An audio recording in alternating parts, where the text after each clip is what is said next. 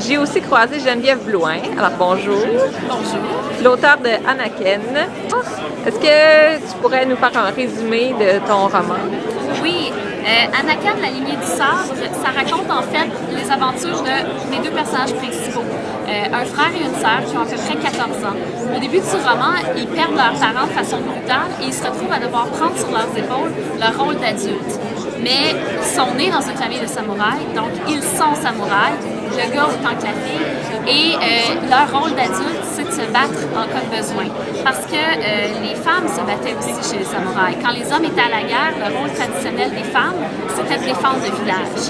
Donc là, il y a une guerre qui se prépare, ils vont avoir à combattre. Alors ce qu'on suit dans le roman, c'est comment ils vont réussir à survivre à cet enchaînement d'événements. Oh, intéressant. Et ça va être une trilogie?